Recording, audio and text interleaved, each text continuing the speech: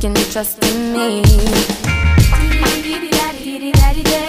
So just call me whenever you're lonely.